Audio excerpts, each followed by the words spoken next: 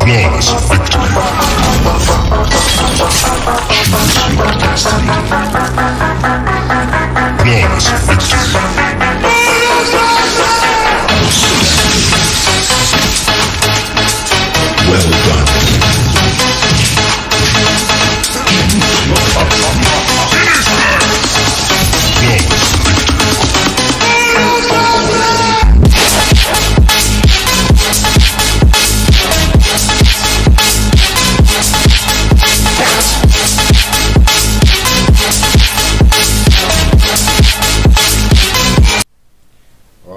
Pessoal, tudo bem com vocês? Hoje eu trago mais um duelo.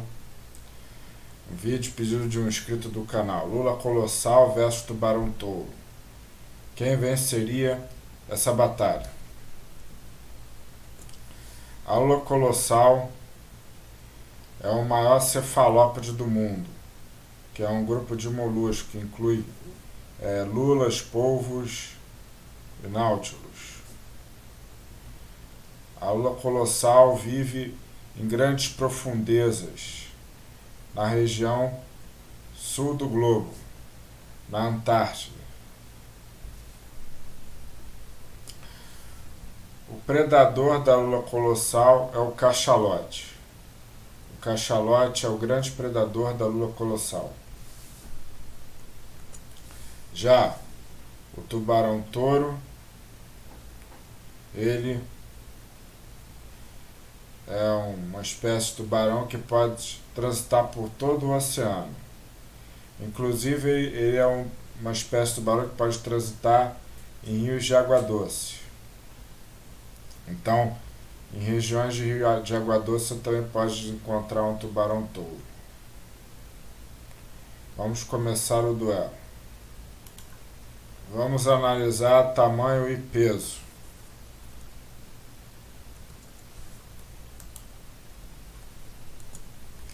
A lua colossal pode chegar a 14 metros de comprimento, é 500 kg de peso. Em alguns casos é dito pesar 750 kg. Já o tubarão touro chega a 3,30 metros de comprimento e pesar de 91 a 227 kg. Portanto, nesse item, ponto para a lua colossal. Agarre garras e bico. A lua colossal ela possui 10 tentáculos, sendo dois é, maiores do que o, os outros oito. E esses tentáculos têm uma boa capacidade de agarre, possui ventosas. Então, é, por causa dessa, dessa grande quantidade de membros seria favorável para Lula é, Colossal se agarrar no tubarão num combate. Garras. A aula colossal ela apresenta ventosas que, que têm garras em forma de gancho, que, que perfuram a carne. E com isso, quanto mais o animal se mexe, mais fundo é, essas garras entram na carne do, do outro animal, do, do adversário, que seria, no caso, do tubarão, se fosse agarrado pela lua. As ventosas da lua colossal têm várias. são presentes garras em formas de gancho. Bico. A lua colossal também possui um bico muito forte também e é capaz de causar também um grande estrago. Esse bico é presente não só na lua colossal, mas também em outros cefalópodes. E tem um grande potencial de estrago. Por isso, nesses três itens, ponto para colossal. Mandíbula. O tubarão touro possui uma mandíbula muito forte. Ele é dito ser o tubarão que morde mais forte proporcional ao seu tamanho. E na sua mandíbula possui uma fileira de dentes afiados e serrilhados. E com isso, ele pode causar um grande estrago é, no, no adversário. Tanto nesse item, ponto para o tubarão touro. Agressividade. O tubarão touro é dito ser o tubarão mais agressivo do planeta. Ele é muito agressivo. Isso também se deve a esse animal ter altos níveis de testosterona, que é um hormônio que causa uma reação comportamental relacionada à agressividade, muitas vezes. Já a lula colossal, ela é pouca, pouco conhecida em relação à sua agressividade, porque ela vive em mares muito profundos, né, muita profundidade, e também vive numa região inóspita, na Antártida. Então tem pouca, é, poucos estudos sobre seu comportamento e pouco sobre as suas interações sobre outros animais, interações com humanos. é, prati, praticamente não se é, é, a maioria dos exemplares, os exemplares foram encontrados mortos, seres humanos. Né? Às vezes tem alguma gra gravação de alguma, é, de alguma lula, mas é muito raro.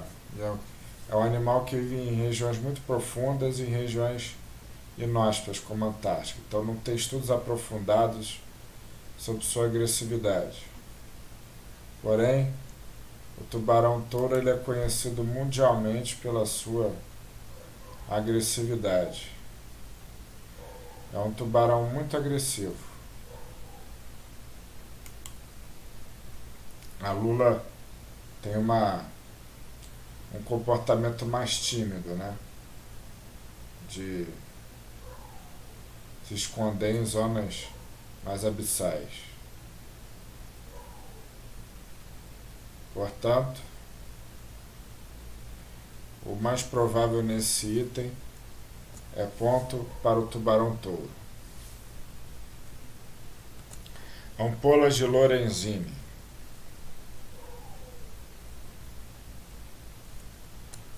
tubarão touro apresenta as ampolas de Lorenzini, que são é, receptores presentes na região do seu focinho, que funciona como um sexto sentido para o tubarão, que ele consegue detectar vibrações no ambiente, detectar impulsos elétricos no ambiente.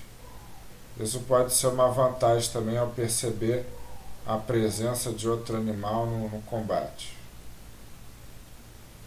Por isso, é, nesse item, ponto para o tubarão touro. Inteligência. A aula colossal é um cefalópode. Os cefalópodes é, podem ser considerados os invertebrados mais inteligentes do planeta já for, foram feitos testes é, de inteligência com povos. E povos têm alta capacidade de resolver problemas. Mostraram uma imensa inteligência em resolver problemas. Isso significa que os povos e outros cefalópodes são altamente inteligentes. O tubarão-touro também tem a sua inteligência, pelas suas estratégias de caça, em geral, que os tubarões fazem para poder caçar suas presas. Então, é difícil avaliar se a lula colossal, né, que é como é um cefalópode muito inteligente, e o tubarão touro qual deles é mais inteligente. Que os dois apresentam, podem apresentar grandes inteligências para em, as, em aspectos distintos. Por isso, o mais justo é neutro. Tinta. A lula colossal, assim como o de cefalópodes, é, secreta é, nas suas glândulas uma substância melânica que se assemelha a uma tinta escura e pode ser usada é, para dispersar e confundir predadores e outros animais. Pode ser usado para desorientar né, predadores. Então a lula colossal tem presente essa tinta, que é presente em todos os cefalópodes em geral. Isso pode ser útil no combate, para poder é, confundir o tubarão touro. Por isso, nesse item, ponto para a lula colossal. Conclusão geral.